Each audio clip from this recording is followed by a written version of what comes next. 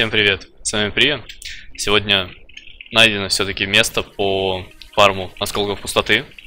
Так что, если у вас есть желание, то можете не закрывать этот видосик и посидеть, послушать э, по поводу этого, если оно вам интересно. Итак, как уже обговаривалось ранее, осколки пустоты могут тратиться на покупку каких-либо предметов для вашего персонажа с целью его экипировки. Э, аксессуары, реликвии, прочие вещи. Э, аксессуары, которые могут прокнуть как нестабильный чародейный кристалл, который падает с жима. Да, на то есть пруфы, на то есть подтверждение. Э, в одном из недавних прошлых видео это было рассмотрено. Итак, суть фарма. Мы заходим в какую-либо заранее собранную группу, которая фармит на именно этих мурлоках, которые, по-моему, являются именно сегодня локальным заданием. Так что, как вариант, завтра эти мобы могут пропасть или порежут этот фарм.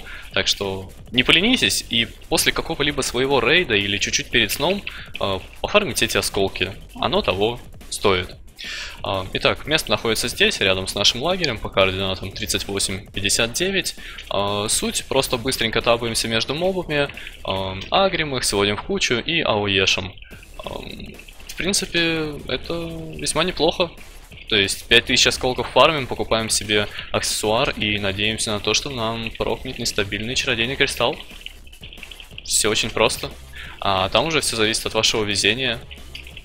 То есть э, периодически, конечно, э, бывает такое, что э, тут и Орда обитает, и поэтому вам придется, мягко говоря, отбить эту точку.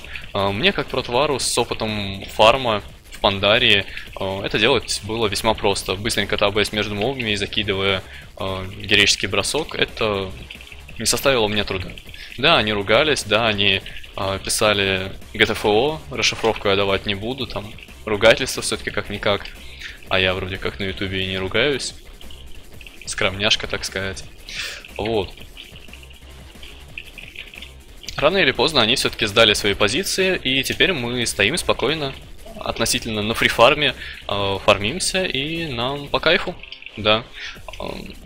Я, у меня, конечно, была задумка покупать реликвии за 5000 осколков пустоты, но потом я подумал, да, типа минимальный эквип этих реликвий 880, максимальный 925, а, но стоит ли оно того?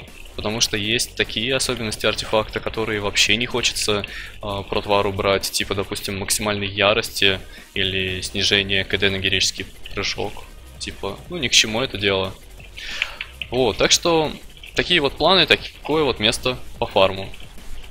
Ну так, если есть желание, говорю вам еще раз, не ленитесь и пофармите это дело. Еще раз покажу место на карте, вот оно. При желании пришли, пофармили. Обязательно делайте это заранее в собранной группе. В пятером фармить намного легче.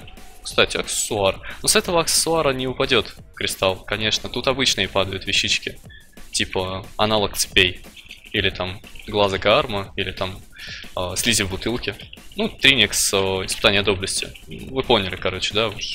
Не глупые, знаете все абсолютно игровые моменты, даже получше меня.